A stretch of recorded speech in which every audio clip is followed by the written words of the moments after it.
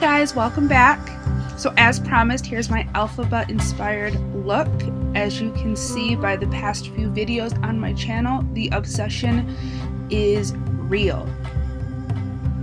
So I'm starting off with a Ben Nye water activated paint and it's really really watered down at this point because I just want to tint the skin at first. Um, a really important thing about Elphaba is that she looks like she has green skin, not that she has green makeup on.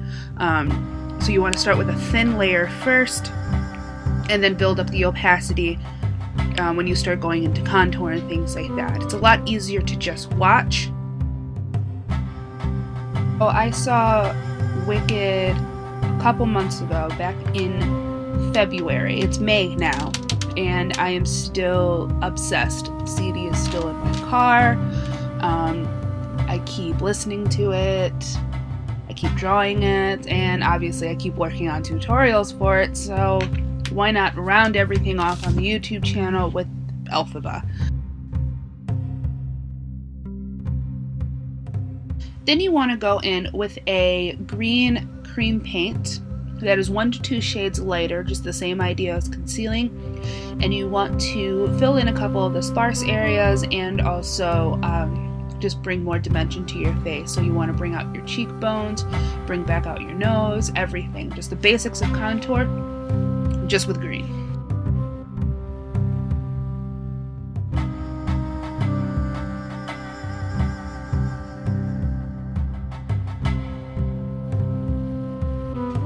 Then you want to powder that really, really well.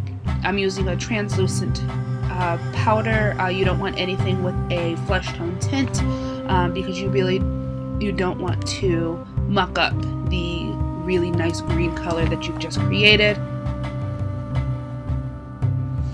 So once everything is set, you want to go in with a deep purple shadow. This is what we're going to use to contour. Um, again, the flesh tone colors, the browns, things like that, that's really going to make our face look dingy. The colors don't mix well, so we're going to use a very deep purple. I believe this is a MAC shadow. Um, it's a deep, dark burgundy purple, and you want to start contouring with that the way you normally would.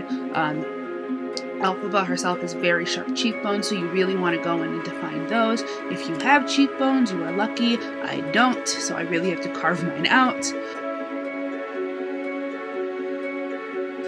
Next, I'm just taking a uh, green shadow. This one is in the Urban Decay Electric palette. Um, it does have a shimmer to it, uh, but the shimmer does bring, again, more depth to the face, and I'm just filling in the areas around the eyes. Next, I'm just using a highlighter that is yellow tinted. This is in the NYX Contour Palette.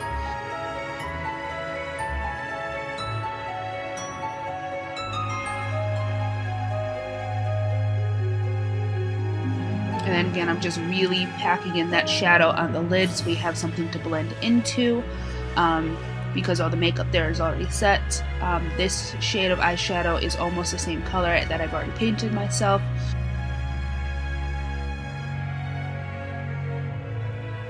Oh, hello there, eyeball. So now we're going to start working on the eyes. Um, we're going to start with a white matte shadow and then highlight the inner corner of the eye with that same shadow. Then you want to take the same purple we used earlier to contour and you want to start contouring um, the lid so that it stands out. You have a bit more dimension but I like to start at the outer corner and work in and just really, really blend it out.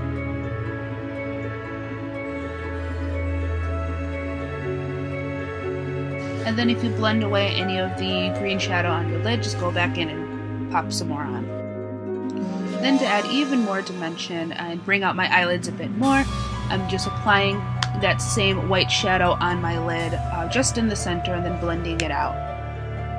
Then you want to really carve out um, that lid area, um, create a bit of a cut crease. So I'm just taking a very, very deep, almost black purple and just working that in there with a very light hand. Um, so we get a bit more contrast and so it's a little bit more sharp. Then I'm taking a matte black shadow and just sweeping it on the upper lash line just to pick up our eyes and make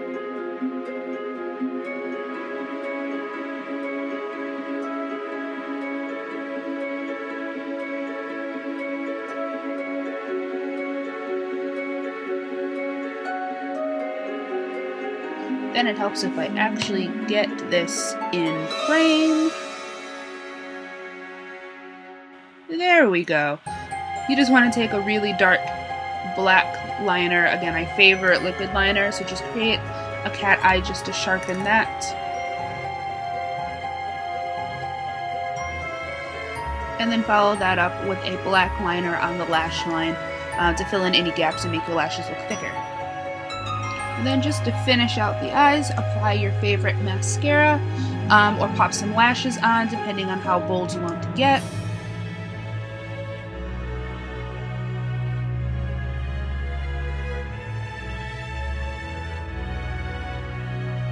Then you want to go in and redefine your brows. Use a black shadow or a black pencil.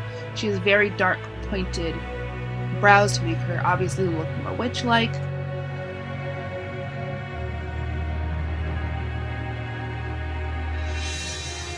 Then for the lips, it took me a couple different combinations to figure out what I wanted.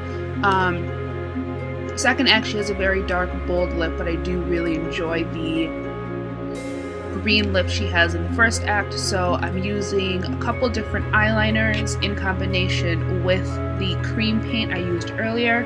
Um, this doesn't blend very well, so you really have to just keep working at it and keep working at it um, until you get the look that you want. Um, but I also wanted to go for a matte color, uh, again, because I want it to look a bit more like skin and less so like she's wearing lip product. And then don't forget to paint your hands. I would actually recommend employing the help of a friend to paint your hands though. Uh, I had a very hard time uh, painting my right hand with my left hand. Uh, my left hand has one job to be a hand, and it's really bad at it. And then that's it. You're done.